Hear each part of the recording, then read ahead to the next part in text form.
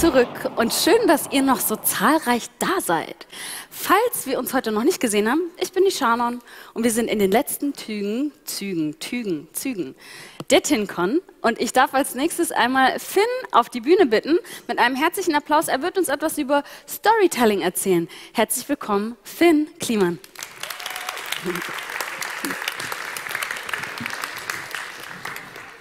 Na ihr? Äh, ja, pass auf. Wir machen das jetzt irgendwie so zusammen. Ähm, ich würde würd vorschlagen, wir machen das so, wenn ihr Fragen habt oder wenn ihr irgendeine Idee habt oder irgendwas wissen wollt, fragt ihr. Das macht das immer am lockersten so. Ähm, ich dachte, ich erzähle einfach mal ein bisschen, was ich mir so mitschreibe, wenn ich äh, unter anderem auch eure, euer aller Stories gucke. So äh, geht jetzt primär um Instagram und andere Sachen, alles was ich so sehe. Und manchmal fällt mir dabei was auf und dann notiere ich mir das und vielleicht hangeln wir uns ein bisschen durch die Liste und vielleicht wollt ihr was wissen, irgendwie so, also ein bisschen locker irgendwie.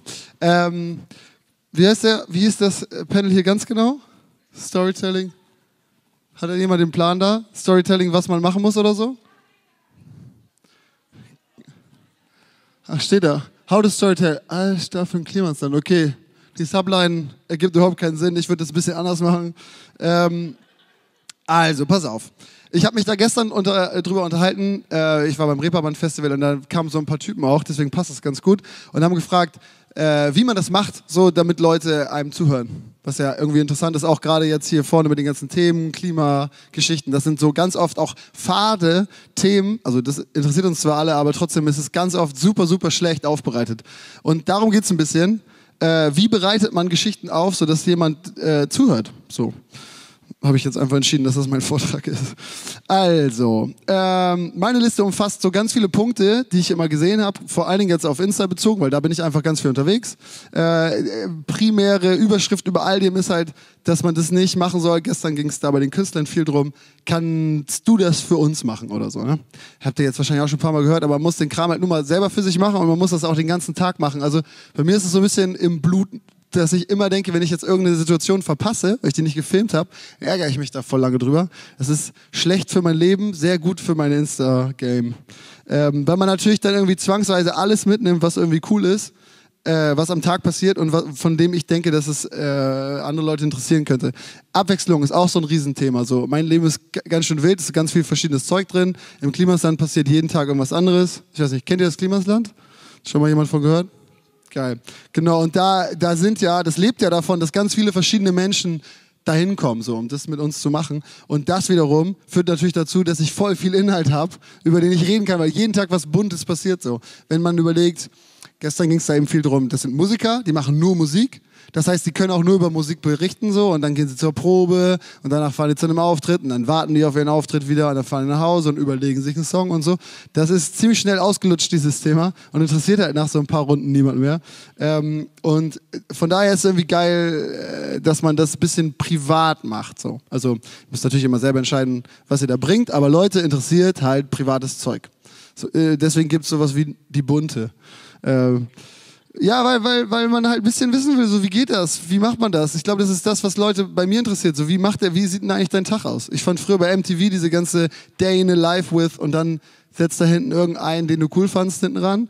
Ryan Scheckler oder sowas bei mir dann so, als er zwölf war und ich leider älter als er, ähm, habe ich dem zugeguckt, wie er seinen Tag verbringt. Das war irgendwie geil, dass er irgendwo hingefahren ist und ich konnte alles sehen, was er so macht. Ähm, und so ist ja Insta. Ich nehme Leute die ganze Zeit mit, zeige denen mein privates Leben so ein bisschen, spiele da keine Rolle äh, und versuche da drin einfach so ein bisschen, naja, einfach so euch mitzunehmen, wenn ich irgendwas mache. Äh, so, pass auf, guck mal, hier sind meine Regeln. Hätte ich jetzt auch mal irgendwo hinschmeißen können. Ich lese sie euch vor, pass auf. Also ich, ist es so, ich konsumiere jeden Tag so vier, fünf Stunden Sachen von anderen auch. Ne? Also ich gucke mir, also ich bin sehr viel, ich verbringe sehr viel Zeit in meinem Leben auf Instagram. Äh, ihr vielleicht noch mehr. Paul Ripke hat mal erzählt, mit dem habe ich immer so äh, jeden Tag abends immer so ein paar Minuten Livestream gemacht und den Tag so durchgegangen. Der ist mal ausgestiegen und hat mal aufgehört, das alles zu, zu konsumieren, weil er siebeneinhalb Stunden als durchschnittliche Nutzungszeit bei Insta pro Tag hatte. Was halt einfach völlig irre war. 10.000, ich glaube fast 10.000 Leuten hat er gefolgt und hat auch wirklich alles versucht mitzunehmen. Ähm, genau. Pass auf, das sind Regeln, die, die könnt, ihr, könnt ihr benutzen, müsst ihr nicht machen. Einfach Sachen so, die habe ich gesehen, mir notiert, weil ich das scheiße bei irgendwem anders fand. Pass auf, kein Post, um mal wieder Hallo zu sagen. So dieses, ey, ich war schon so lange nicht mehr online, ich wollte mich noch ganz kurz melden, dass ich da bin und so. So, ja, leck mich, das interessiert mich echt nicht. Ne? Ähm, dann mach einfach nie ich habe es Rundungsfreudenposts genannt. Stellt euch vor, ihr habt 1000 Abonnenten und das interessiert euch natürlich voll, weil das so sowas ist, so eine Summe, die ihr geknackt habt, so. Aber es interessiert einfach niemand anders auf der ganzen Welt. Das Einzige, was man machen kann, ist so, wenn du so sagst, äh, 100.000 äh, und dann macht ihr so einen tollen Song wie Casper und der ist dann zufällig gut, dann ist das was, was ihr machen könnt. Ansonsten würde ich da einfach auch nicht drüber sprechen. Ich habe noch nie über irgendwas geredet. Ob man jetzt irgendwie eine halbe Million Abonnenten bei YouTube hat oder 100.000 bei, das ist völlig egal. Erstens sind Zahlen sowieso egal. Das ist die größte Regel über allem. Guckt niemals in eure Insights. Guckt niemals, ob irgendwas erfolgreich war, irgendwas anderes nicht, weil dann machst du halt nur noch das, was erfolgreich war und dann wirst du wieder langweilig. So, ganz einfache Regeln. Guckt niemals auf irgendwen anders eigentlich. Guckt euch nicht an, was gut funktioniert. Äh, versucht nicht aus irgendwem irgendwas abzuleiten.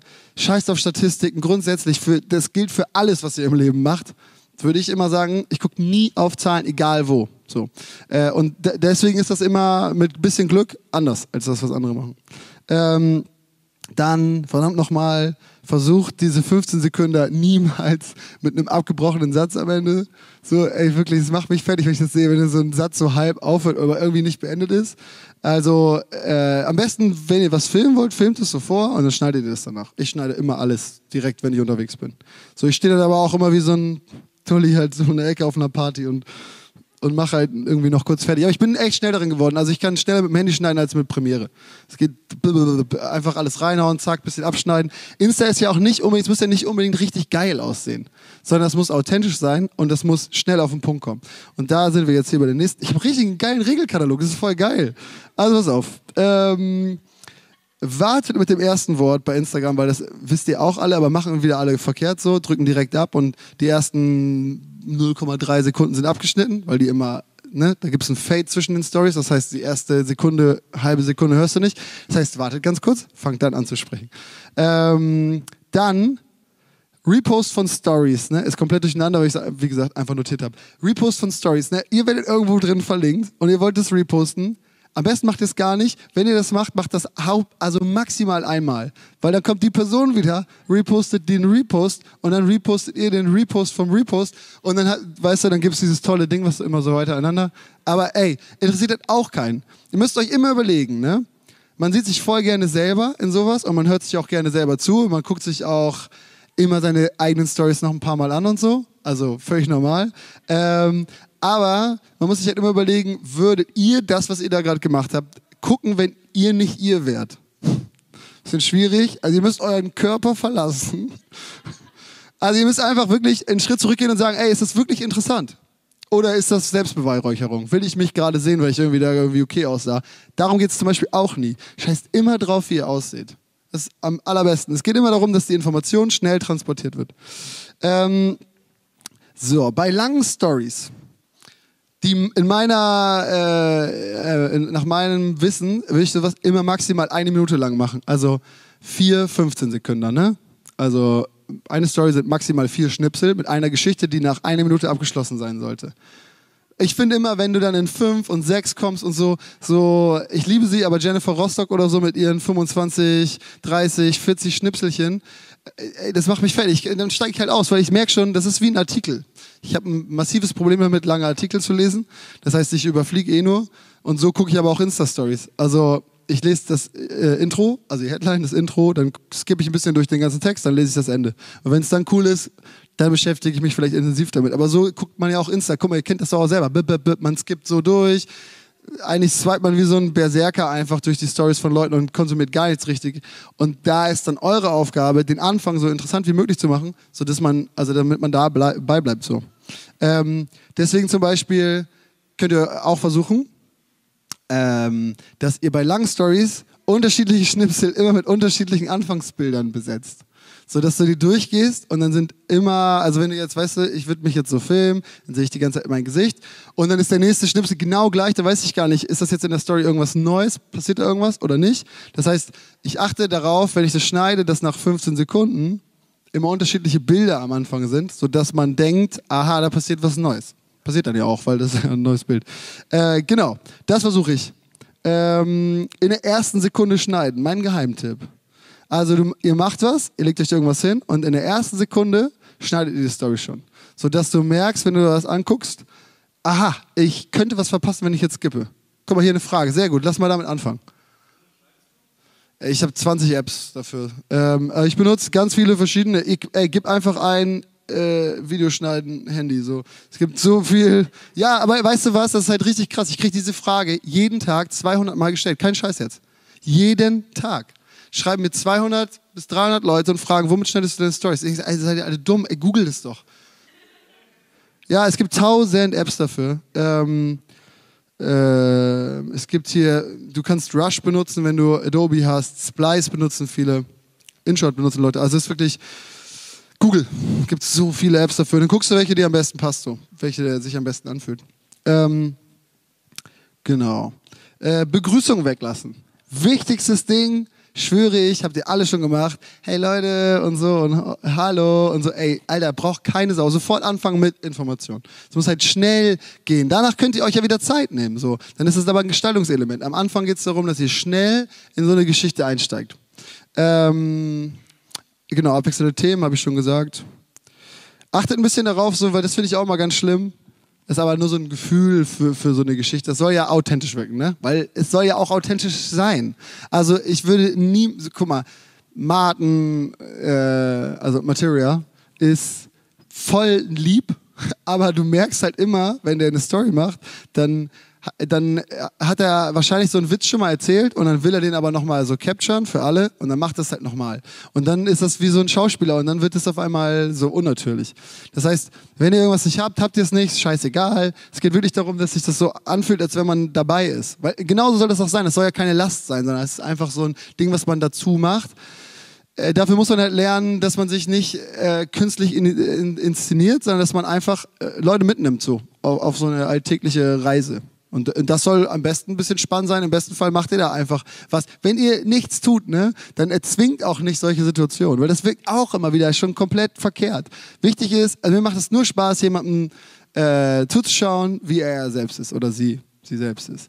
Dass man einfach sieht, ey, ich bin dabei und ich lerne eine Person wirklich kennen. Wenn sich darin dann Dinge ergeben, so weißt du, äh, Erfolgsgeschichten, so traurig das jetzt klingt, aber sowas wie bei Larissa oder so. Die hat so wiederkehrende Geschichten. Ich weiß nicht mehr genau, wie es heißt. Fleischkäse, Freitag oder so Geschichten. Äh, die isst halt jeden Freitag Fleischkäsebrot. Nimmt Leute einfach mit, wie sie das, wie sie das isst. So, jetzt äh, hat sie davon Shirts gedruckt und, und Leute posten am Freitag immer ihren Fleischkäse. Es klingt total bescheuert, ne? aber solche Sachen funktionieren dann halt, wenn ihr irgendwas habt, was ihr im Leben immer tut, nehmt die Leute doch mit so. Also offenbart das ruhig. Das finde ich, ich finde es interessant, es ist cool, so wiederkehrende Geschichten zu haben in so einem Leben, das jeden Tag merkwürdig anders ist, ist es cool, ab und zu mal so was Wiederkehrendes zu haben.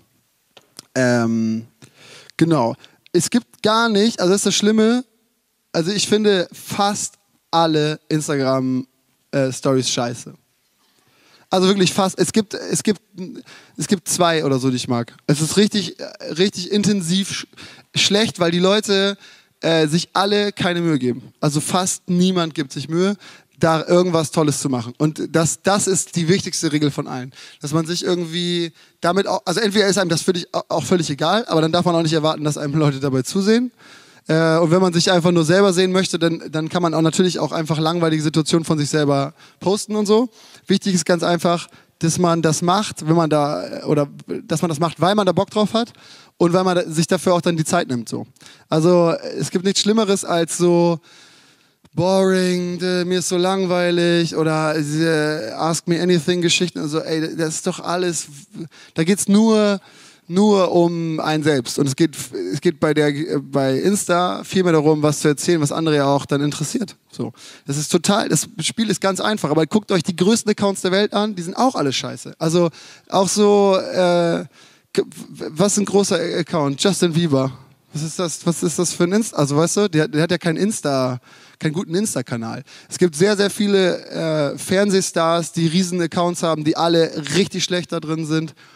Also ich mag die alle total, total gerne, auch persönlich so Joko zum Beispiel, voll der coole Typ, mega lustig, aber kann das halt nicht. So, der ist extrem groß, weil äh, der halt im Fernsehen äh, sehr erfolgreich war und äh, kann, kann aber halt keine Instagram-Story. Dem fällt das schwer, das zu erzählen und der will die Leute auch nicht mit ins private Leben nehmen und so. Ähm, muss er auch nicht, aber dann zackt halt seinen Insta-Kanal. So, und so ist das halt, ist wirklich so. Äh, die meisten Leute nehmen sich dafür einfach keine Zeit oder, oder haben keine. Oder, ist ja auch gar kein Problem, aber dann, dann wächst sowas halt auch nicht. Also, wie gesagt, für mich ist das halt wirklich wie ein Hobby so. Also, ich mache das gerne, äh, mich nervt das auch nicht. Und ich habe auch nicht diesen Zwang, jeden Tag irgendwas raushauen zu müssen, sondern das ist halt auch im schlimmsten Fall, schlimmster Fall, passiert immer einen Tag nichts. Ähm, erfahrungsgemäß bei Paul zum Beispiel, der war drei Monate, hat er so komplett abstinent auf Insta gelebt, also gar nichts mehr gemacht. Und er hat erzählt, das war für seinen Instagram-Kanal so das Geilste, was ihm passieren konnte, weil der halt durch seine ganzen Postings jeden Tag eher Leute verliert, als dass er welche dazu gewinnt. Ähm, das heißt, er hat, also so ein großer Kanal wächst eh die ganze Zeit. Das macht er automatisch ob du jetzt was tust oder nicht. Ähm, ich habe, weiß nicht, jeden Tag so 500 bis 1000 Abonnenten mehr oder so, ob ich jetzt was tue oder nicht.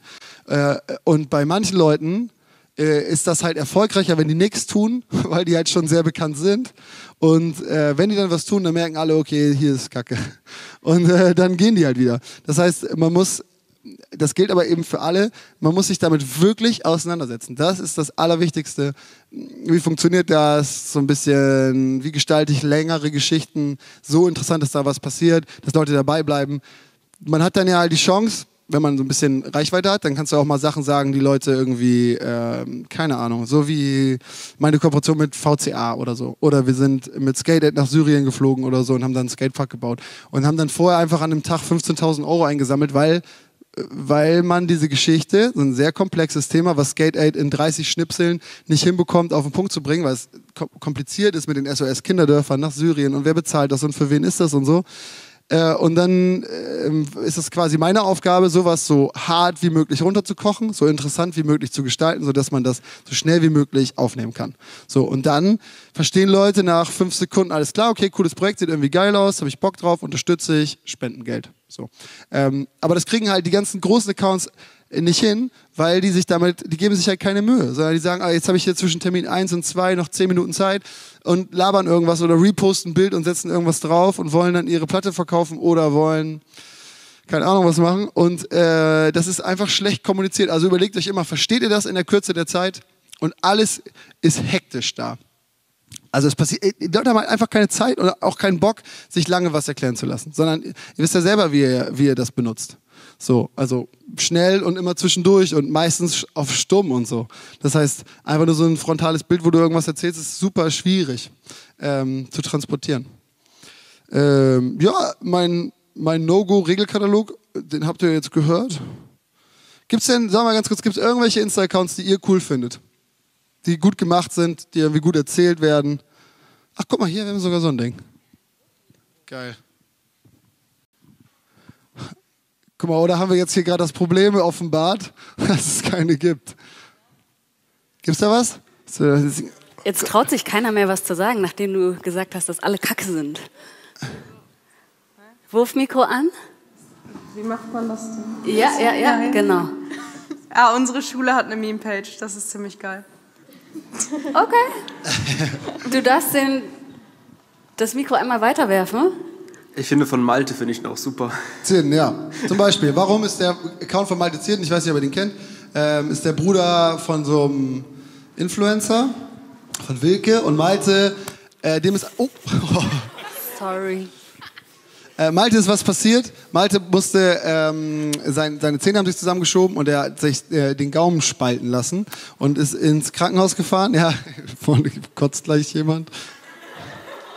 Ist hier wirklich hochgekommen, sei ehrlich. Ah, okay. Also, weil so schlimm war das gar nicht. Das war primär lustig. So, und er hat das ähm, mitgenommen. Natürlich ging es ihm sehr, sehr schlecht. Der, der, hat geblutet wie so ein Schwein und alles war richtig scheiße. Aber der Typ hat halt Humor. Und hat das die ganze Zeit mitgenommen, wie er irgendwie drei Wochen nur Vanillejoghurt essen durfte und so. Und der sieht halt einfach richtig wild aus, weil der vorne so daumenbreit eine Zahnlücke jetzt hat. So, und das Ding ist immer weiter auseinandergegangen, jeden Tag um so einen halben Zentimeter gewachsen und gewachsen und gewachsen. Ähm, und dann hat er das einfach alles immer gefilmt Und dann äh, hatte der super viel Zeit im Krankenhaus und hat das aufbereitet. So, und hat daraus sehr, sehr gute Stories geschnitten. Hatte vorher halt so einen Mini-Kanal, keine Ahnung, wie genau die Zahlen waren äh, ich weiß nicht, 5.000, 6.000 Abonnenten oder so. Und dann ähm, habe ich das irgendwie ein bisschen geteilt und ganz viele andere Leute haben das auch geteilt. Jetzt hat er, glaube ich, irgendwie 100.000 oder so. Ähm, und dann, weil der weil der das einfach gut gemacht hat. Genau wie du gerade gesagt hast, ich finde, der hat das halt sehr lustig aufbereitet. Der äh, kackt dich auch nicht mit dem Thema zu, sondern der macht das immer so, dass du Interesse daran hast, wie geht's dem eigentlich. Also äh, Micha Fritz, auch der, der Gründer davon, Viva Con Agua, der, der hat irgendwie so einen Parasit am Fuß gehabt. Ne? Ähnliche Geschichte, klingt auch voll eklig, aber ähm, da war halt spannend zu sehen, ob er noch lebt, jeden Tag. Und äh, bei, bei, sowas muss man ja einfach auch mal gucken. Also es geht jetzt nicht darum, alles Social Media seitig auszuschlachten, aber äh, wenn du sowas hast, ne, habe ich gemerkt, dass es total hilfreich ist, das zu teilen. So, also für einen selbst. Guck mal, du kannst mit so einem Fuß nichts machen. Das Einzige, was du hast, ist Feedback von Leuten, die fragen, wie es dir geht und, und Tipps geben und so. Du liegst im Krankenhaus ganz alleine wie Malte und blutest da vor dich hin und dann machst du halt eine witzige Story und die halbe Welt lacht sich darüber schlapp. Das ist ein gutes Gefühl. Ich glaube, das hilft auch für die Heilung vielleicht. Also das äh, finde ich auch. Sorry, ich habe jetzt viel zu viel lange geredet hier dafür. Ja. Mach mal so, ich höre... Okay. Ähm, das macht wahrscheinlich Sinn, aber ich finde den Instagram-Account von Franzi auch super toll. Von meiner Franzi? Ja, von deiner Franzi, ja. ja. Was wahrscheinlich halt nicht von irgendwo kommt, aber es ist ein ganz anderer Stil als seine mm. Instagram-Stories. Aber trotzdem immer richtig schön anzusehen, finde ich. Das. Voll, zum Beispiel, also Franzi scheißt auf alles, was ich gerade gesagt habe. Also es gibt nicht Regel, es gibt keine Regeln, das, das sage ich ja, das ist super subjektiv. Ne? Das sind die Sachen, die ich mir aufgeschrieben habe, die mich bei anderen gestört haben. Und das sage ich hier auch Ich meine so, ey, also wenn ich mir das angucke, ich skippe ihre Stories. Ich kann die nicht, also ich kann die nicht immer, also erstmal weiß ich, was bei uns im Garten passiert und ich stand vielleicht daneben oder so. Aber die, also, weiß nicht, wer, die, wer Franzi kennt äh, oder den Account kennt, ist halt so, die filmt irgendwas ab und erzählt dann, wie eine Tomate wächst und fest die an und isst die und so. Also sie hat so Themen, äh, die muss man mögen oder nicht, aber sie ist auf jeden Fall super, super authentisch so. Und die schneidet nichts und die pfeffert immer einfach alles hoch und wenn sie Bock hat, schreibt sie noch einen Satz drunter und so. Ich keine Ahnung, wie viele Abonnenten die hat. Weißt du? Ja, weiß ich auch nicht. Auf jeden Fall glaube ich eine ganze Menge. Ähm, das heißt, es gibt einfach nicht diesen Regelkatalog. Ja, schmeiß mal irgendwo hin. Sehr gut. Um, ähm, ich wollte einmal, also ich wollte zwei Sachen sagen. Das eine ist, dass ich es toll finde, dass du mit dem Pult im Partnerlock bist. Dass ich Was? Hab ich gar nicht gesehen. Geil. Das ist mein Werder-Fanshirt. Äh, und zweitens wollte ich fragen, nachdem du ja gesagt hast, dass sehr viele Stories scheiße sind und dass du selber natürlich keine schlechten Stories machst, ob du eine hast, die dir persönlich, die du jemals gemacht hast, wo du sagst, das war auf jeden Fall die beste. Boah. Äh, die beste ist echt schwierig. Es gibt, aber das ist dann, das ist auch wieder super subjektiv. Ne? Da passiert Brian irgendwas richtig Dummes, worüber ich mich mein restliches Leben beömmeln werde. So, das kann ich mir halt 100 Mal angucken. Das ist wahrscheinlich dann die beste. Aber ich habe schon so, ich glaube, man kann 100 Highlights anlegen bei Insta. Ne? Also das 100 Highlight-Ordner, wo unendlich viele Stories drin sind. Ich glaube, die sind fast voll. So. Also ich habe irgendwie fast 100 Highlights oder so da angelegt. Ähm, das, also wenn euch irgendwas interessiert. Ich weiß auch nicht, das ist ja überhaupt nicht der Maßstab, ne? Ist auf keinen Fall das Beste, was es gibt. Ich will nur sagen, ich gebe mir Mühe und ich versuche das so einfach und so schmackhaft wie möglich aufzubereiten, so dass man Bock hat, das zu gucken. So. Das ist eigentlich der einzige Tipp. Und der Rest passiert einfach in meinem Leben. Ähm, wie entscheidet man dann, welche Stories Story-Highlight würdig sind und welche nicht? Ich entscheide das einfach, keine Ahnung. Die voll sind? Wenn die voll sind, dann muss ich irgendeine löschen. Aber bin ich ja noch nicht. Ähm, nö, ey, Story Highlight, keine Ahnung. Du machst irgendwas und findest es gut. So wie du gerade gesagt hast. Irgendwas, was irgendwie eine sehr lustige Situation oder irgendwas, keine Ahnung. Brian auf dem Wacken hat äh, ist hingefallen, nachdem wir so ein Spielchen gemacht haben, wer höher über Mülltonnen springen kann. Dann hat er so eine Brille, wo nur ein so ein Glas drin ist. Und dann äh, film ich, habe ich einfach so im Vorbeigehen auf ihn gefilmt und dann labert, hat er irgendwas, kennt ihr diese 0800 Backpapier-Geschichte? Hat das jemand gesehen? Ey, das in den Highlights müsst ihr euch mal angucken. Es ist, es ist das Witzigste, was jemals passiert ist, wie ich finde. Weil er halt einfach so eine total straighte Ansage macht. Zwar so ein bisschen Schricklage hat, aber extrem klar und deutlich erzählt, dass man ihn einfach anrufen könnte, wenn man ein Bierchen mit ihm trinken will, 0800 Backpapier und er wäre dann für die Leute da. So, und, äh, und äh, weißt du, solche Sachen, das gucke ich mir an und denke so, alles klar, okay, das will ich nicht vergessen. Das ist dann ein Highlight. Ja. Ähm, ich glaube, es war die letzte Frage, ne? Okay, ich hoffe, das war tatsächlich die letzte Frage. Ansonsten schreibt mir irgendwie bei Insta. Manches geht unter, aber ich versuche eigentlich alles zu beantworten so. Ähm, äh, mitnehmen solltet ihr eigentlich nur, dass ihr euch ein bisschen Mühe dabei gebt. Ob ihr euch jetzt auf Franzis Art und Weise Mühe damit gebt oder äh, wie ich ein bisschen mehr so versuchen, okay, die Schnipsel dann auch so zu legen, dass irgendwie Anfänge cool sind und so. Äh, aber es ist jetzt wirklich wichtig, einfach echt nur, dass ihr das nicht als ich, äh, mir ist langweilig. Also das ist das Letzte, wenn, ihr, wenn, ihr, wenn euch langweilig ist, nehmt euer Telefon nicht in die Hand. Ganz einfach. Und, und lasst das mit den Spiegel-Selfies und so Geschichten. Und nicht mehr Hallo am Anfang sagen.